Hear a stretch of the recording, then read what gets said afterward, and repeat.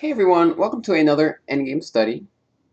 Uh, as always, pause your video and try to find the solution, and then when you're done, we will try to work it out together. So what the heck is going on here? Um, oh, okay, I see the problem.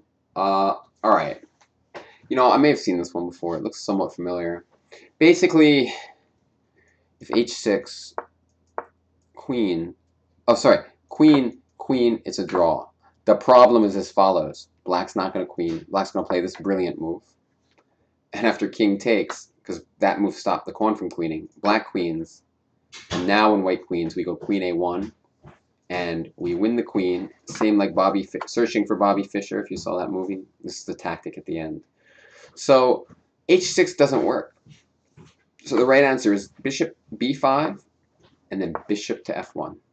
The point is now after king takes, boom, boom, boom, queen, queen is still a draw. However, after bishop e5, the, the black king has been lured to a square that interferes with the queen. And therefore, that's the only way to draw. We, we make the king come to f1, we make a queen, and the position is a draw.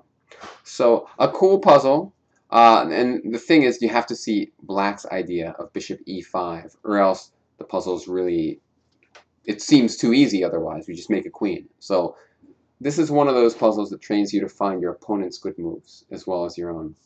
So thanks for watching. I hope you like this study, and I will see you next time. Bye-bye.